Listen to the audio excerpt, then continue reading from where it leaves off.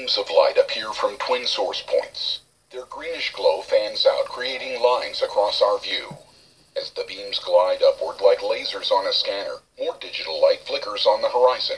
A glowing outline appears in the form of a castle with multiple spires. From its center, a blinking beam of light creates a hologram of words Walt Disney Pictures. Now a grid appears on a